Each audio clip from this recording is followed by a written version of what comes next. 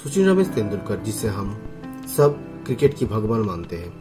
उसने उसका test debut किया था इंडिया के लिए 1989 में 15 नवंबर के दिन, पाकिस्तान के खिलाफ कराची स्टेडियम पर वो इंडिया के लिए 187 नंबर टेस्ट प्लेयर थे।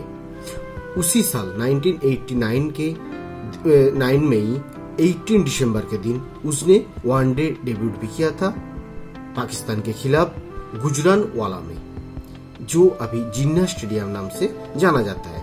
वो 74 नंबर ओडीआई प्लेयर थे इंडिया के लिए।